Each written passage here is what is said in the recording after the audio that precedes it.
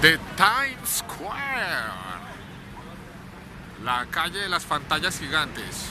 Pues se conoce así porque en el mundo todo el mundo la conoce por las películas. Que por aquí empieza el fin del mundo, que por aquí esto, que por aquí lo otro, que la Lularu, y que esto que lo otro. Bueno, pues sigamos a ver qué es lo que pasa si esta nieve nos deja.